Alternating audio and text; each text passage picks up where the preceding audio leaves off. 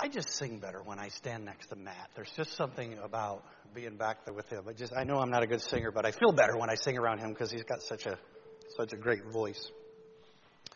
This is uh, Happy Independence Day today, no doubt. Clearly, um, Happy Independence Day for what we celebrate is this country celebrates um, our independence and our choosing to be a, a free, self-governing body. But I can also say Happy Independence Day times times two. Uh, there's actually uh, a second Independence Day that we can celebrate this day as well.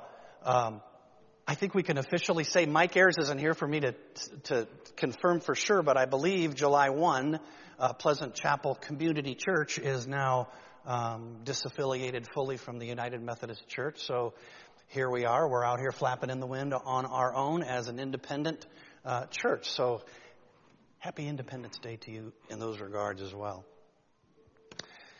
But, you know, becoming an independent church has, it's forced us to, you know, I think kind of stop and think a little bit about what it is we are as a, as a church, uh, what it is we, we believe in, how we define ourselves, what it is that we're really all about, what it is we really ought to be doing as a church, and, and what it is that we say we believe. Uh, those are important um, requirements I think we have to do since we've kind of stopped and shifted and, and uh, turned the ship, if you will, just a little bit.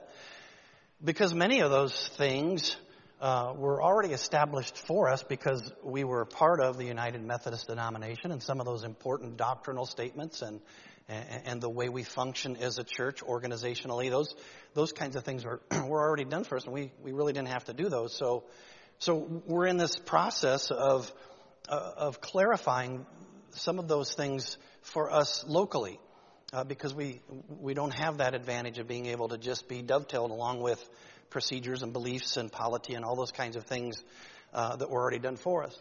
and no doubt it's going to take a lot of time and, and energy and commitment to do that. But I, I really believe that this process can really be a very positive thing, uh, you know, especially for the ones that are have the magnifying glass out and looking at the texts and and, and, the, and, the, and the verbiage and, and, the, and the policies and those kinds of things. I think it's very good for, for them. But in general, I think it's really good for all of us as well, for a whole church, for us, you know, as we take this time to develop what it is we say we believe in in our, in our bylaws, and clearly have time to talk about these things, to, to discuss. And just so you know, what is going to be established will be you know, probably in the fall, a vote that will be a congregational vote that will we'll have time to look at all these things and to, and to talk about them and to and to see what it is that we are saying as Pleasant Chapel uh, Community Church. But I think it's just a great opportunity for each of us to kind of personally engage in those things that we say that we believe in. I think it's a growing opportunity for all of us.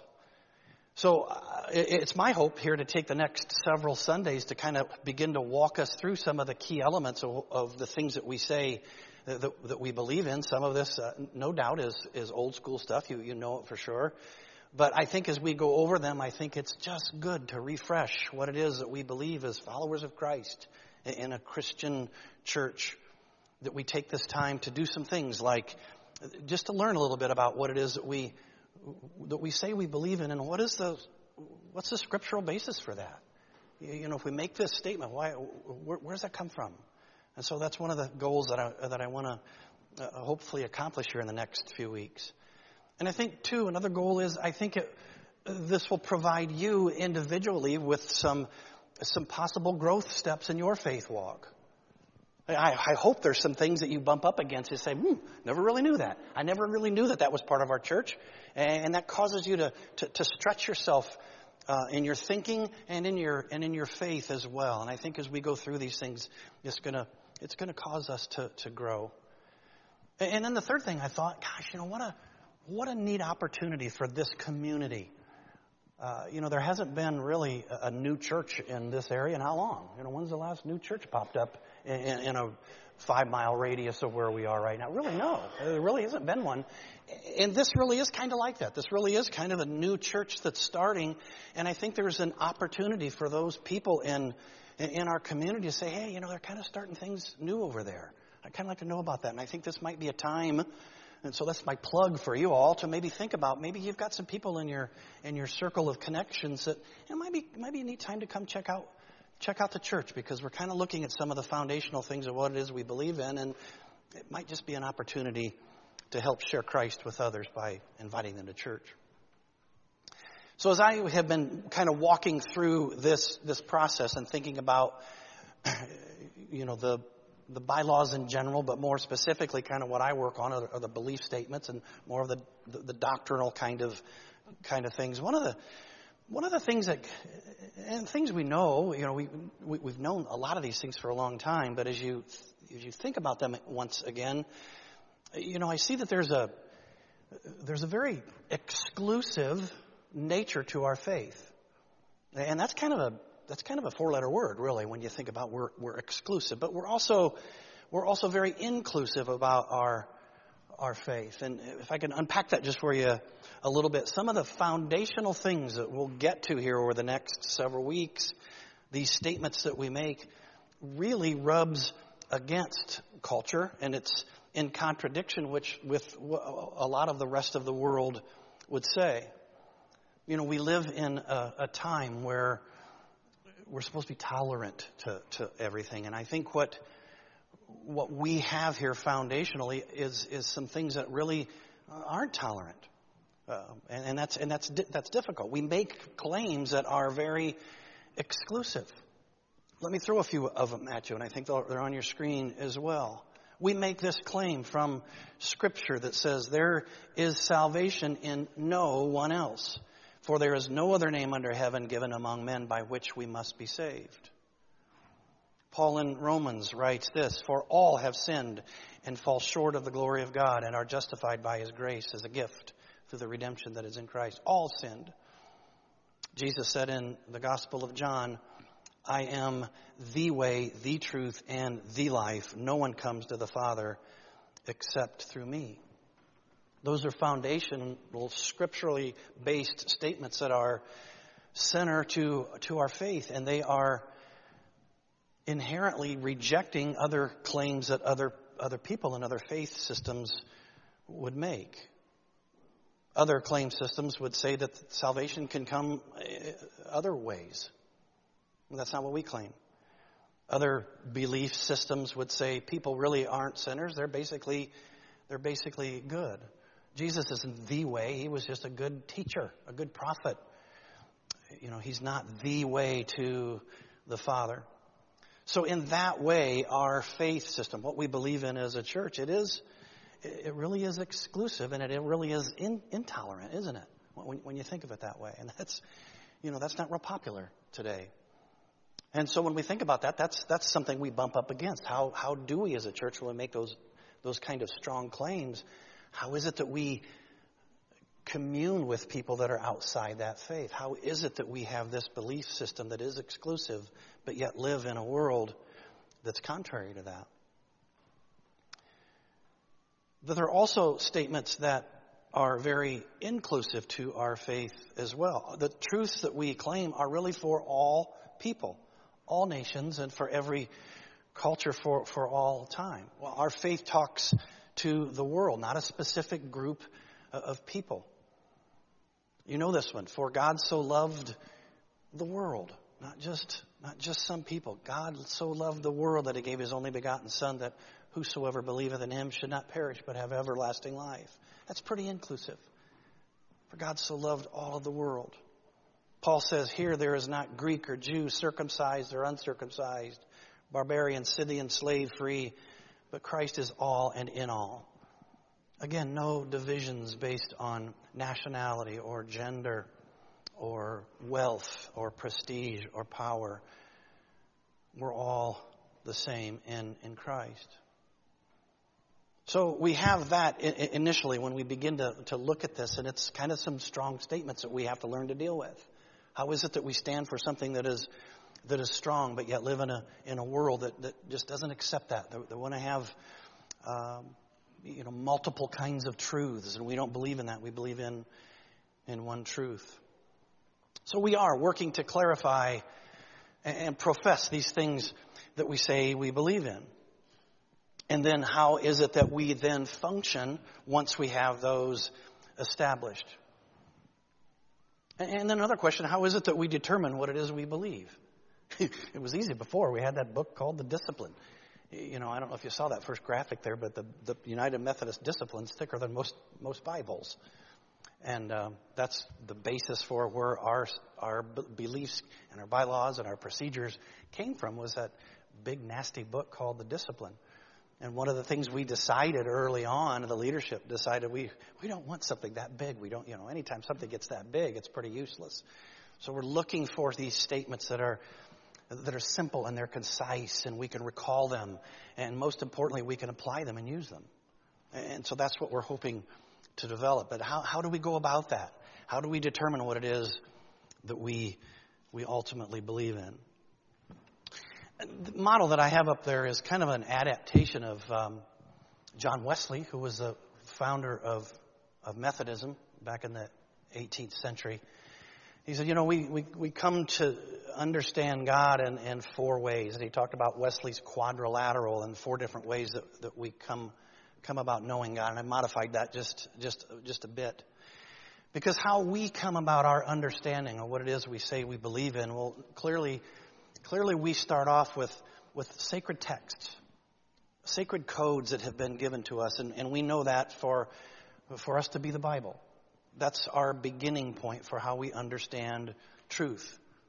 We believe that the Bible contains the authority by which we live our lives and how we govern ourselves as a people.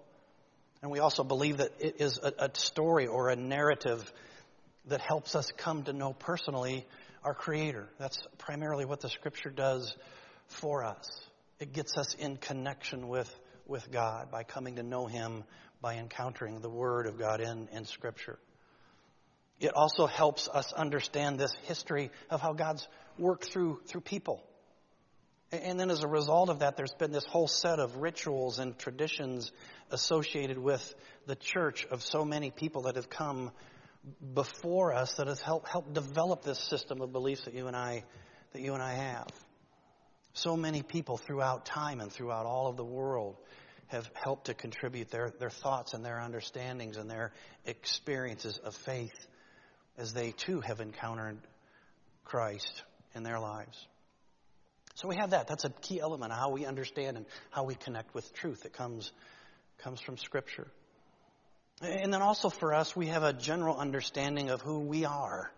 And that's not all, all perfectly pretty either. How is it that we understand our, our nature? What, what is the, what is, how do we understand human beings and their, and their nature?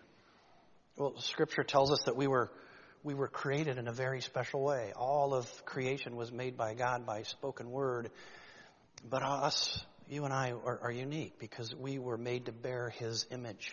We are a special creation of His, and we were created for His enjoyment and for His glory. And you know that comes from the book of Genesis right away when he talks about how people were created. God created humankind, He made them in the likeness of God. Male and female, He created them, and He blessed them and named them humankind when they were created. We were created very special to bear His image, and that's part of our nature. But the dark side of that nature, too, is we know that inherent to all of our essence is this tendency to contradict our Creator. We are all, you and I, and every human that has been born, created with an aspect that's not good. It's tainted by, by sin we have this image of God, but the image is marred because we all have individual sin and we're also born into the nature of sin that affects all of, of humanity. But if you are in Christ, if you have received the forgiveness found at the cross and you trust in, in Him, we're promised through Scripture that we have a new nature about us. That that old nature of flesh, the Scripture tells us, is transformed into a nature that is, is spirit and it's new and it's being transformed back into the likeness that we're, that we're supposed to be. And we have this ongoing battle about us. I know I'm preaching to the choir on this because you're all human beings and we have this ongoing battle of flesh and of spirit. And that's where we find ourselves right now. Paul talks about this from Romans. He said, For those who live according to the flesh set their minds on the things of the flesh, but those who live according to the Spirit set their minds on the things of the Spirit. To set the mind on the flesh is death, but to set the mind on the Spirit is life and peace. And so we have this ongoing conflict that we have here of who we are. We're created these special people, people that are to bear His image, but also that image is marred and tainted, and we're being transformed back in only because of the grace of God and the Spirit that dwells within us. So we have this understanding of our nature, of our human nature that helps helps us contribute to what it is that we that we say we believe. And then the next thing, God has given us minds. He's given us minds to reason and to think and to ponder and to wonder about the wonderful things of nature and the wonderful things of God and what He's what He's doing with all of humankind and with all of the cosmos in general. And based on based on how our nature is, it affects the way we think. Again, if we are people that are focused on the flesh and the carnal and the temporary, our thinking will reflect that.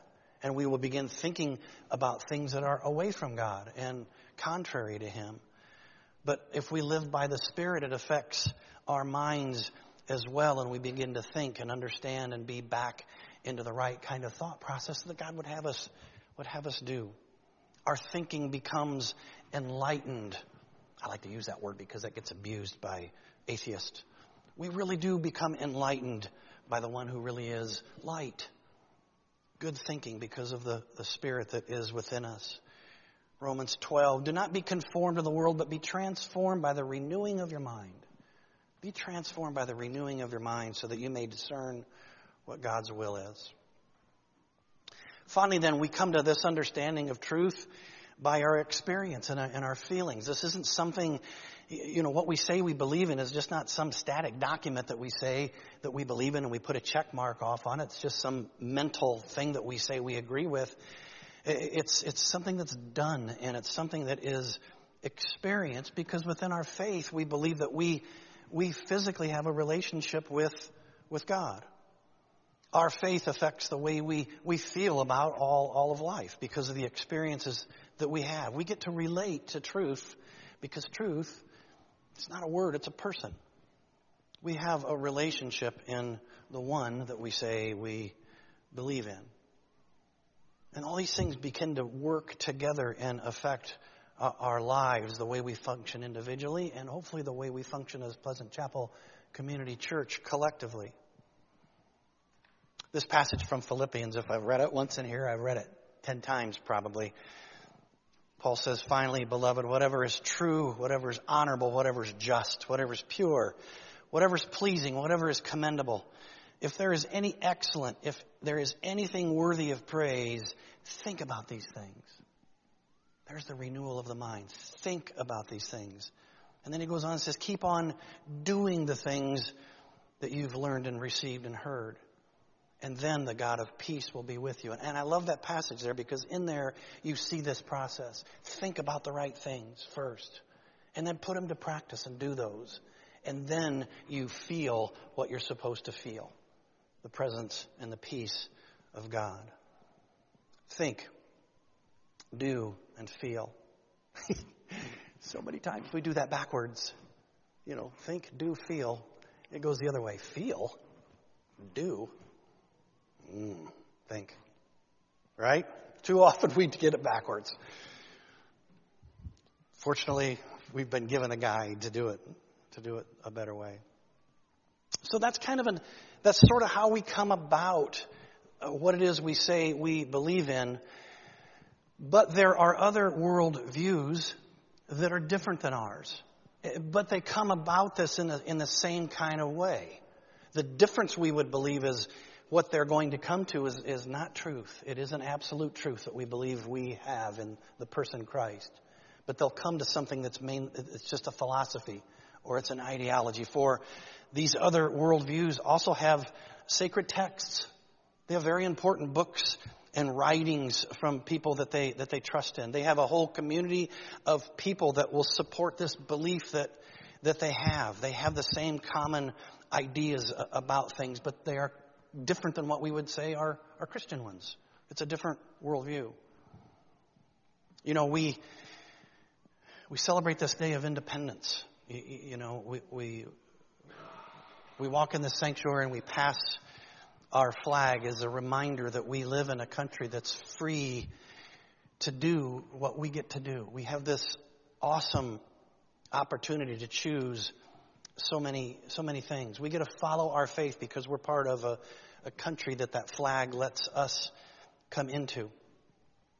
But you know, this, this church is not an American church. You know, this country also provides the same freedom for other people to choose to believe and to act and to form their set of beliefs that are different than ours. And frankly, we allow the freedom for people to choose that which is wrong. And that really is true freedom when you think about it. But I'm glad we live here, that we have the opportunity for you and I, that we can choose what we believe is right. But that also means we live in a country where we can choose that which is wrong. And so, you know, when you think about this, this idea, these, another way of coming about what other people would maybe consider as, as truth, these, these texts that we would be talking about would be written by, by people and, and that's going to affect their understanding of how they believe the nature of, of humanity really is and, and their role of their emotions and their feelings and how they understand, understand truth. And you know, when I make that statement, when you think about that, you know, what's he talking about? I'm a little vague here intentionally. The first thing you think about, well, clearly that's, that's other religions. Because those sacred texts would be things like the Quran or the, the sacred book of, of the Jewish people, the Old Testament, or it would be the writings of Confucius or, or, or, or, or Hinduism or another religion. And then the whole communities then get built around, uh, around those kinds of faith systems based, based on those are clearly quite different from ours but also that I want to take just a little bit of time to talk about too. I think there are other systems of beliefs that are different than the ones that we're going to talk about here the next several weeks. They're a lot more subtle. And they're right around us. At every corner, we have a dark kind of truth being, being pushed that isn't, isn't really true. A lot of it is because we live in the time that we live in. We live in a time where information is just so easily transmitted, available to uh, our fingertips based on our phones and our tablets and TVs and so quickly and worldwide information is passed. And so world views can literally be invented every day. And I think what you find is the sacred text that so many people are just getting sucked into are sacred texts that you find in social media or on a television channel or on a website or on books that are, that are published by mere philosophers. And because, because of that, you'll find, because the propagation of information and, and, and how we can move stuff around so quickly and worldwide, you find whole communities of people that will come into an agreement on, with, with a particular slant. And it is kind of a religion, if, if you'll allow me to call it that. And because information explodes, that religion can explode as well. Might not call it a religion, but if you think about the time and energy that we can find ourselves devoting to a particular kind of idea, compared to the amount of time and energy we should be spending on things of religious faith, you got to wonder what really is our God. Those sacred texts that we find that are wrong is we'll find so many people basically claiming that humanity is basically moral. We're basically good. Another big lie that we have that's foundational in these false religions is we believe that we are the givers and determiners of life. Life is not something that's given by God. We are the ones that get to determine that. And since we are, if I'm a pregnant mother, then it's my right to be able to choose life or not. It isn't a God thing, it's a people thing. There are also ideologies that would say God does not provide you with your identity or any kind of pattern of behavior, but rather your identity is what you choose to assign to yourself. Your behavior is based on any kind of feeling or orientation that you have. I don't need to go into that, but you know exactly what I'm talking about there. Again, that is an ideology that's very prevalent. And you can find a whole community of people that believe in that, but it is contrary to what we believe because we believe our identity and our purpose and our behavior is a gift and patterned by what God would have us be. What is our purpose here? Other ideologies would say, you know, your purpose is dictated by success or power or wealth or status. Instead of what we would believe as a people that our purpose is dictated by a loving God who calls us to love Him back and to love other people. So, my point in this, before we get into these in the next several weeks, is I think we live in a dangerous time. I think there are so many voices out there vying for your heart. And I think it is important that we be very careful about what we, what we choose to spend a lot of time in, in reading and the websites we go to or or a particular party that we want to put all of our beliefs in. That's not to say we don't participate in those things, but, but we can be so easily deceived. Paul writes in the book of Colossians, Troy read part of this to us here. He says, See to it that no one takes you captive through philosophy and empty deceit. Boy, that's appropriate today. According to human tradition, according to the elemental spirits of the universe, and not according to Christ. For in him the whole fullness of deity dwells bodily, and you come to the fullness in him who is the head of every ruler and authority. And I think that's where we need to be. We need to be as followers of Christ, finding ourselves centered in what it is we say we believe. That needs to be primary. Where is it that we are investing most of our time and our energy and our thought? It should be on the things of God. We need to be people that are spending more time in Scripture and in church and on our knees confessing and seeking His will in prayer and staying in company with other believers who will help us stay accountable to Him. And we need to be people that are loving and merciful and full of forgiveness and kindness because that's what He's commanded us to be. That needs to be center. And that needs to be first. All those other voices that are competing for you, they're giving a, another narrative for your life, and they're just wishing that you'll pay your honor and your homage to something else. And it's a false God. So, again, that's why it's important, I think, that we take this time to, to really clarify these things that this church has been around a long time. Church has been around for 2,000 years. But this is an opportunity for us to go back and look at these things and to understand a little bit more fully about what it is that we say we believe and what does that mean for us collectively. And so if I circle back around to this beginning of what we say we believe in, it's so good.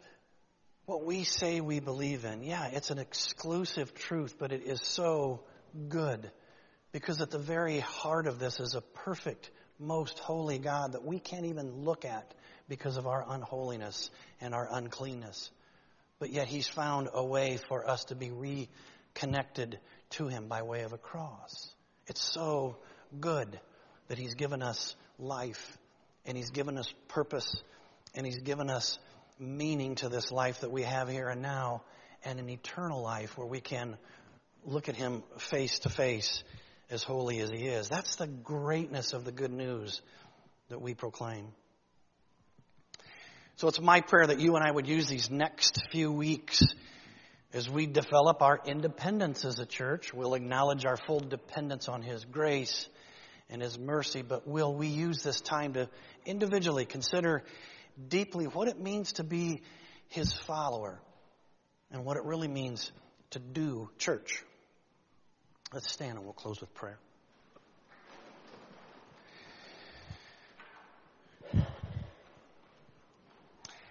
Father, we thank you for this day. We're shortly going to leave here and we're going to go, we're going to go celebrate an independence that, that you've given this great country. Remind us once again that, that to, to fully appreciate what it is that you've given. But alongside that and in a much bigger way, this day and this day moving forward, would you re-remind us the real freedom that we find in your Son. By your Spirit, I pray that you would enable this church to continue on what you have started in this church. Guide and direct our hearts and our minds that, that we would just be a great beacon to this community. And we praise you for the good things you do and will do in our future. Amen. Your command is to go back there and take donuts home and eat cupcakes and enjoy the party.